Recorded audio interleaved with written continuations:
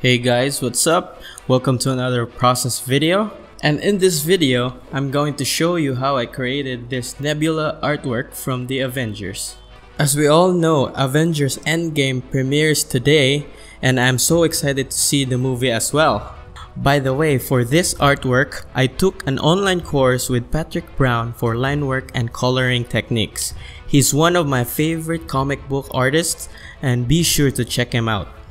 So this is the sketch that I made for the Nebula artwork and I made this on Clip Studio Paint for iPad Pro. For the iPad version, it has a subscription plan of around $5 per month.